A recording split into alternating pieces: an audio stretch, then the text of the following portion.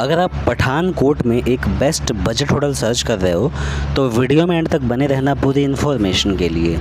इस होटल का नाम है अर्जुन गेस्ट हाउस और इसकी रेटिंग 3.4 की है। आउट ऑफ़ फाइव और इसकी लोकेशन पड़ती है मलिकपुर पठानकोट के अंदर।